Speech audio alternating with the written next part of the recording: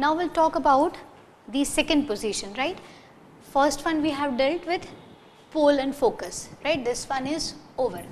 Now, where the object has to be kept, will I be able to draw here? I think so. So, this one is our first one and green chalk I was looking for and this one will be a second one right again m m dash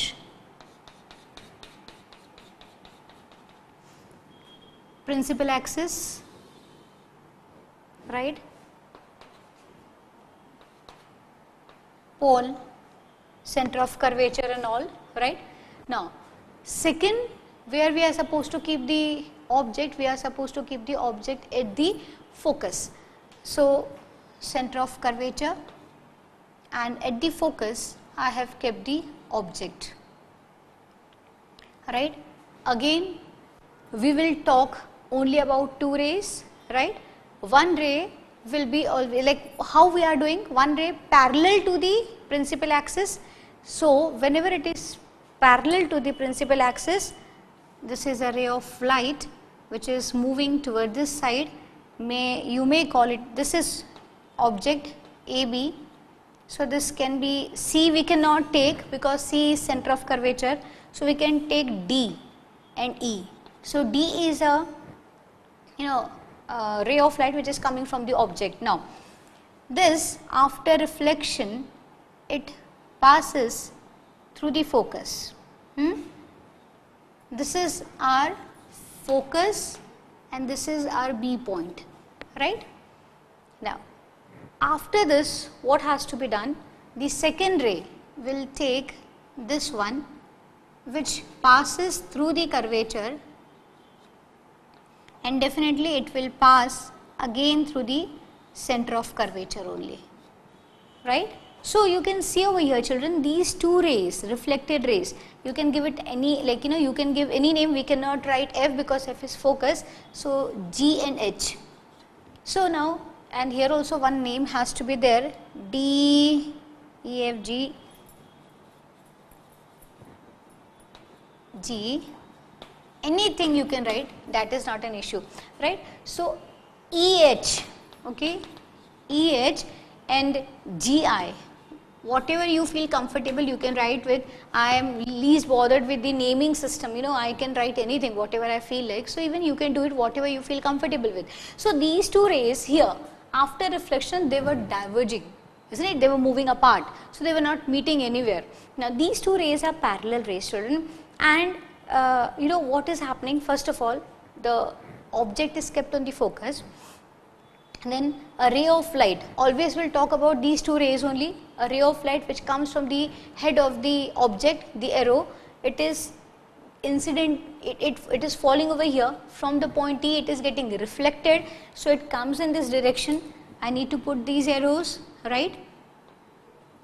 These are reflected rays. This is one. Then second one when the ray of light you know it uh, it again comes from this part it get uh, you know it is falling on this it is getting reflected from G and it is it is passing through the center of curvature. But these two rays which one EH and GI are parallel and they will meet you know very far very far somewhere. So, how the image will be children how the image will be the image will be real it will be formed somewhere far very far. So, it will it will be real so it will be inverted it is found it is it will be formed very far so it will where it is formed infinity right and uh, it will be highly you know enlarged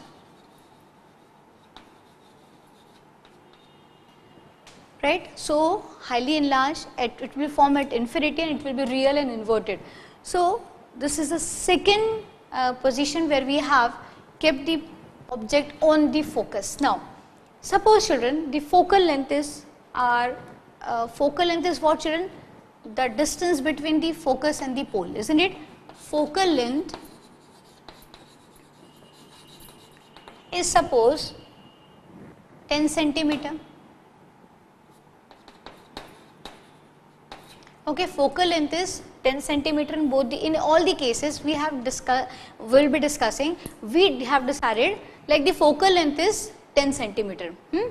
Now what I am doing now I am telling like why do we make all this thing, what is the importance of this, why do we need to know that what will happen, which kind of image will be formed by keeping object at various places, are you getting my point?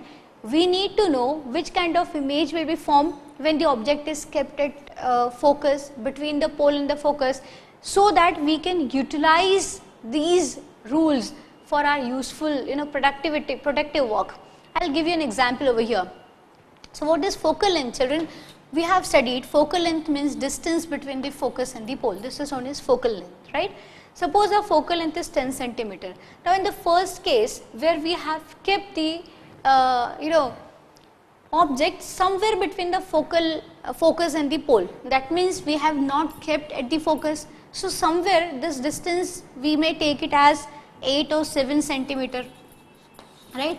That means we have kept the object within the focus, before the focus, isn't it? Between, before the focus we have kept. So, whenever we keep the object within the focus, which kind of object, which kind of image is formed?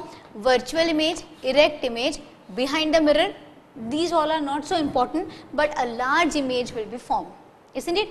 You know, uh, the, here uh, this uh, rule is utilized, you know, where it is th this kind of image, where it is formed.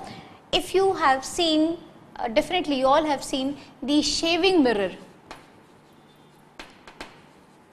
Okay, the shaving mirror or even the makeup mirror. okay shaving mirror and makeup mirror hmm? now uh, when the makeup is applied when the shaving uh, you know uh, is being done so when the person keeps that mirror very close okay to himself that means when the object is within the focus then a big image we can see our big face inside the mirror right suppose we have to apply certain makeup eye makeup has to be done so uh, for that it is very very important to see the eye very very clearly nicely. Hmm?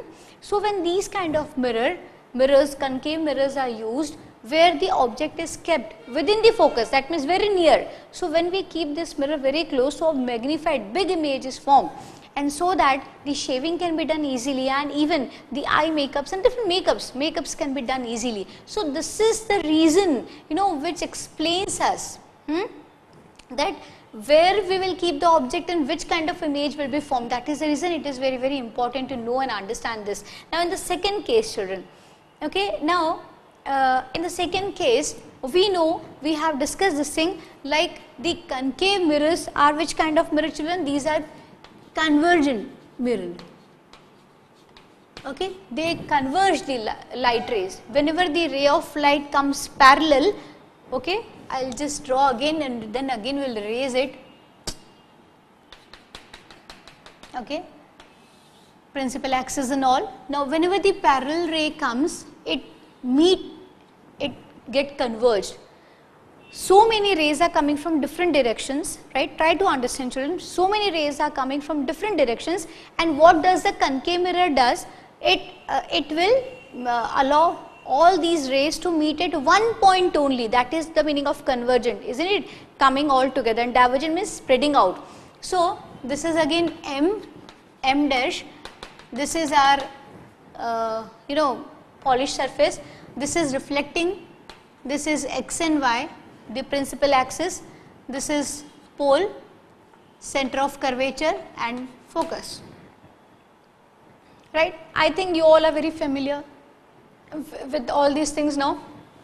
Now, the parallel, the parallel ray comes and it uh, like all different rays I will be drawing. So, again this ray. Again where it is moving it is coming to the focus. Again one ray it is again coming to the focus. That means what is happening? The concave mirror has the capacity. What it does it you know whatever all rays are coming from the different directions it has the capacity to converge them to you know all the rays will meet at one point. Now see how useful it is. Now, our focal length is 10 centimeter. That means the focus is somewhere at the 10 centimeter. So, when the object, when the object is kept, suppose we take the example of the bulb, okay, we keep a bulb, we place the bulb at focus, okay. So, which kind of image will be formed? Like, you know, what is happening when the object is kept at the focus? The concave mirror is converging all the rays over here. So, such a strong beam of light can be used, hmm, uh, can be formed and these all can be used in the you know uh, the reflectors and all you know for the uh, torches and all right. So, that is the reason again I am telling you like we should know that where we keep the object to get which kind of image. So, now we know here uh, in the first case uh, we need to have a enlarged image, we need to see our face you know nicely in a bigger way so that we can apply makeups and you know shaving can be done or the uh, when you go to the jewelry shop the jewelries can be seen isn't it the earrings and all can be seen very nicely. So, in this case the concave uh, mirror is used and the object is placed within the focus you know very near. So, when we bring the concave mirror very near so a magnified image is formed. Here we know that the concave mirror are the convergent mirrors isn't it. So, what they do whatever whichever ray which is parallel now you should be able to understand now we have done it very you know various uh, many times actually. This is principal axis this is parallel ray to the principal axis and it will come and meet to the focus. So, it has the capacity to converge the light rays. So, when the bulb you know uh, the torch is made in this way by utilizing this uh, you know rule that when the bulb is kept at the focus. So, a good amount of strong beam can be obtained right. Okay. So, now we will talk about the third image now this focus is also over now we will keep the object where between the focus and the center of curvature. So, now we will talk about the third image. So, now we will draw the third image this is M, M dash our polished surface, right, principal axis y, this is not straight,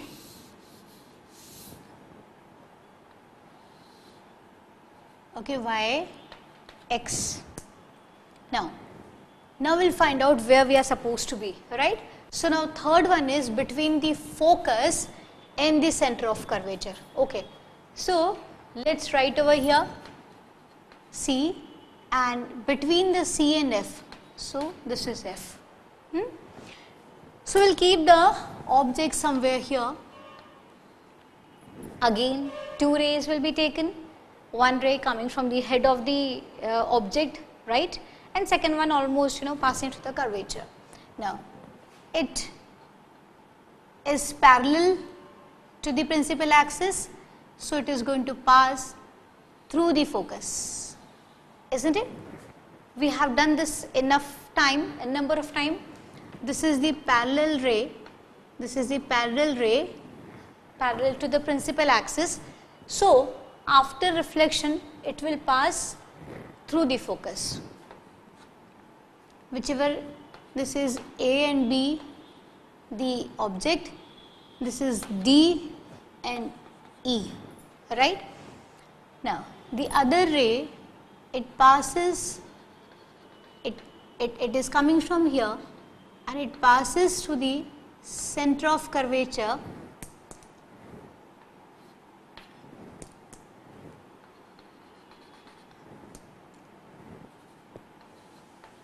okay. So, now second ray where it is okay. So, it is it is it is the incident ray which after falling at this point it get reflected and definitely it passes through the center of curvature.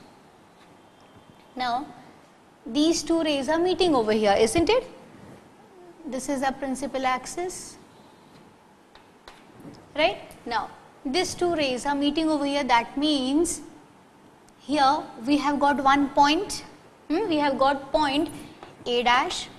And if we draw perpendicular from the principal axis like this so we'll get the whole image isn't it? So we'll get the whole image over here right? And this will be an inverted image b dash.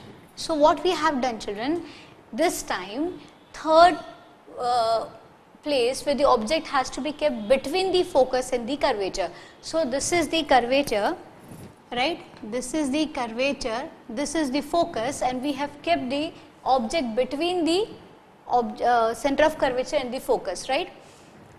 So, a ray of light which comes from the head of this uh, arrow AD after reflection it passes following the path D, DE right. Again one more ray of light AF which after reflection follows this path which passes to the center of curvature and this FG. So, these two rays really they meet at one point right and we have got the point here they meet and what will happen if we draw perpendicular from here we will get an image. Now which kind of image is formed? Now the image which is formed is what? It's uh, see this is center of curvature it is formed beyond the center of curvature more ahead of the center of curvature. So beyond center of curvature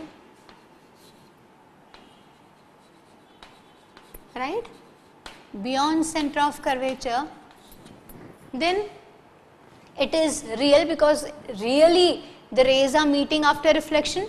So, real image whichever image is real definitely it will be inverted. So, real and inverted image right and which kind of image is from children? You can see the size of the object and you can see the size of the image. So it is large image is formed right? Large image is formed. So what we are taking till now our focal length is 10 centimeter right? We have kept the object between the center of curvature and focus that means beyond 10 hmm? so and you know uh, what is curvature double of focus. If if focal length is 10 centimeter then C will be center of curvature will be what? 20 centimeter. Hmm? but we have not kept the neither we have kept the object at 10 centimeter that means focus nor we have kept the object at center of curvature that means 20 centimeter. We have kept between these two. So, take you know maybe 18 centimeter. Suppose we have kept the object at 18 centimeter but where do we get the image? Where will be getting the image? Beyond C that means after even 20 centimeter. So, we will be getting image beyond C. That means after 20 centimeter we will get will get will be getting the image right. So, this was the third one. Now, we will move to the fourth one. Now, what is the fourth one? Now, fourth condition is, see this one is over now, right. Now, fourth one is on the center of curvature itself, right, on the center of curvature. So, let us draw. This is our M m dash. This is our reflecting surface. And this side is our this side is our polished surface. Principal axis center of curvature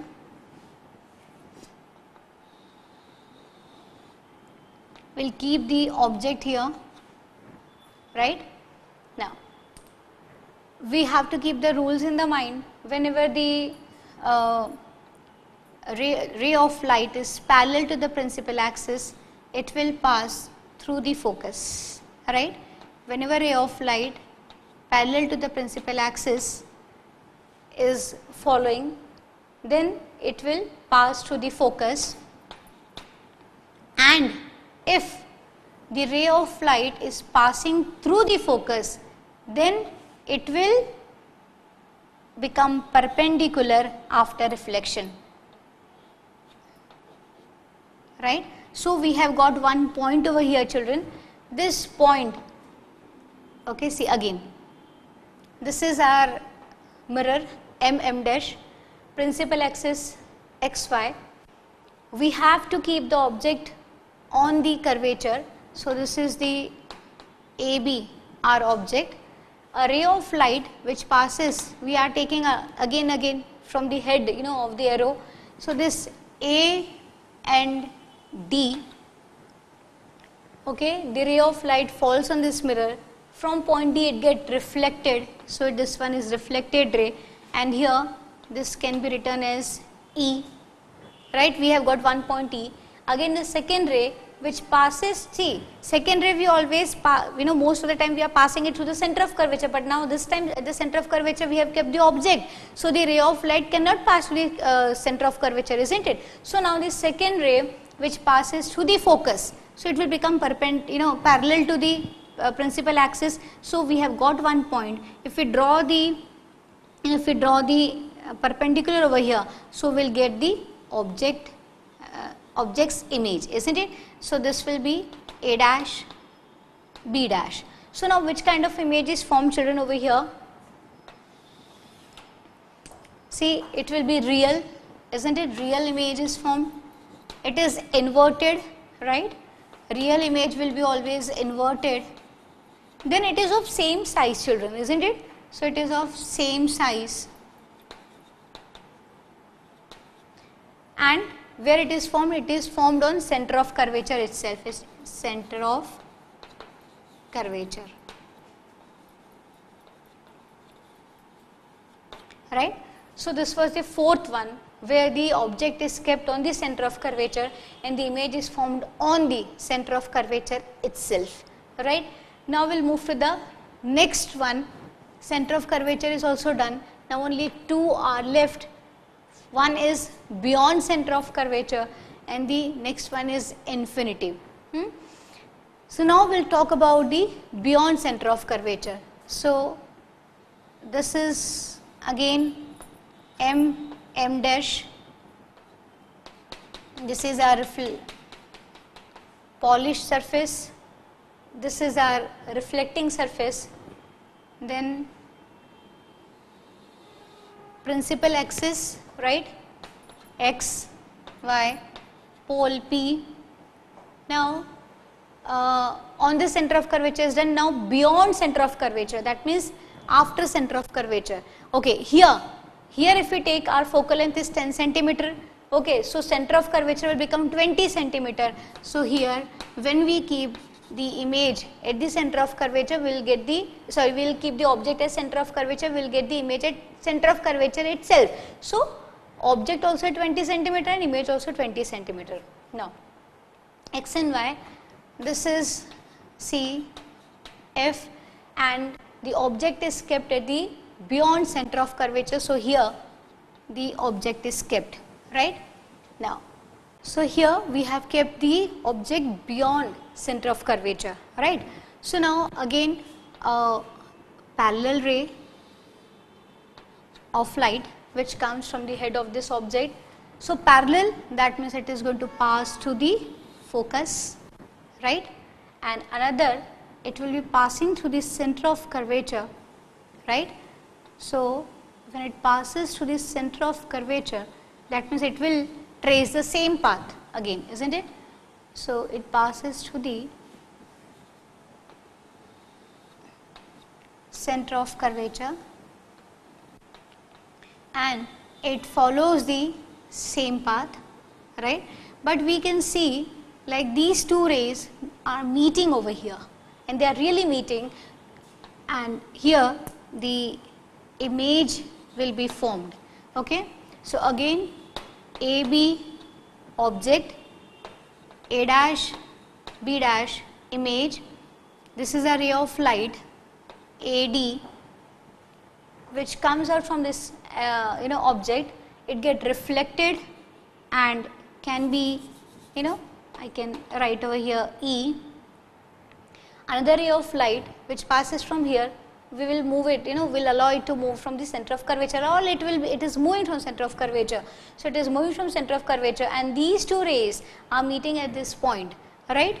Where they are meeting? Somewhere between you know between between center of curvature and F between C and F right? Between center of curvature and focus so, where image is formed between center of curvature and focus the image will be formed. How it is formed? It is small or diminished, not very small but still smaller. Then it is inverted. Which kind of images are inverted? Definitely real images are inverted. So, real image, inverted image, small and it is formed between the center of curvature and the focus, right. Now, uh, our focal length is 10 centimeter so, we have kept the uh, okay here again focal length is 10 centimeter. So, curvature has become 20 centimeter. We have kept even after 20. So, you can take it as 25 centimeter isn't it. So, when the object is kept at 25 centimeter it is formed somewhere between 10 to uh, 20 between center of curvature and focus. So, it is formed between say 15. So, image will be formed somewhere at 15 centimeter because 10 is focus, 20 is center of curvature, double of focus and it is formed somewhere between center of curvature and focus. So, somewhere like 15 centimeter. Okay. Now, this was our fifth one and now we will be dealing with sixth one there is no place. So, I will I want all the images on one board only. So, we will just try and make it over here only adjust over here. This will be now sixth image. Fifth is over where we have kept the object beyond the center of curvature. Now, we have to keep it on the infinity, right? Infinity, sun is at infinity, isn't it? So, now this is the mirror not be able to draw very properly because not able to see. Now this is the mm dash mirror. Principal axis xy pole center of curvature. Right? Focus. Now object I cannot draw. Why I cannot draw? Because object is somewhere at infinity. Right? So like sun is at infinity now so, we keep suppose you know we imagine like some object is there at infinity with again arrow uh, head and all. So, two parallel rays are coming okay two parallel rays are coming and it get reflected somewhere you know like and then again the second one also it gets reflected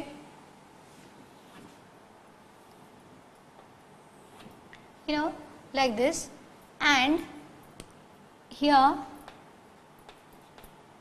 you know we get one intersecting point over here right?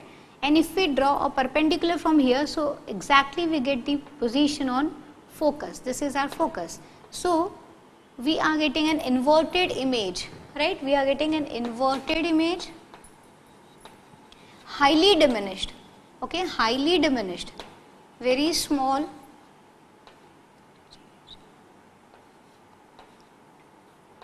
Highly diminished